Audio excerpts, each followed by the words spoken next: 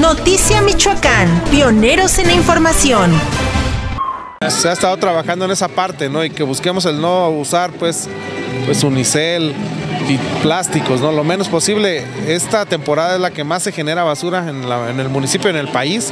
Entonces, pues, yo creo que hagamos algo por nuestro país, hagamos por nuestro bolsillo y por todo, ¿no? Así es que invitarlos a que no gastemos de más o que no consumamos esas, esas cosas, plásticos desechables, uniceles, ¿no?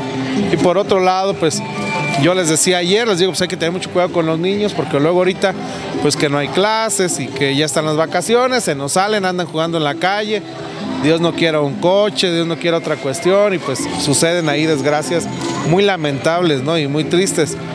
Yo creo que el evento que pasó en estos días hay de una familia que son mis amigos, que los quiero mucho y que pues que es muy triste recordarlo y es muy triste lo que sucedió. Pues también que sirva para que simbre a toda la sociedad y que pues reflexionemos y nos cuidemos. Hay accidentes que la verdad no se pueden evitar, pero hay otros que sí se pueden evitar. Busquemos evitar este tipo de cuestiones para que no tengamos nada que lamentar este año. NM Noticias, pioneros en la información.